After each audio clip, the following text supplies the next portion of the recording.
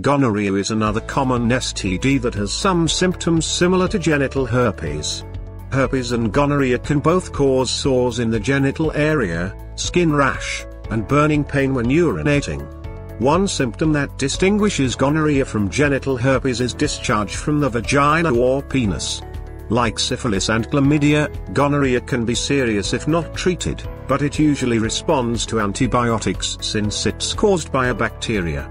Your doctor may give you a one-time pill or a 7-day dose to treat gonorrhea. If women don't get treated for gonorrhea, they are at risk for serious complications, such as pelvic inflammatory disease, which can cause infertility. In men, complications of gonorrhea may include epididymitis, an inflammation of a coiled tube at the back of the testicles.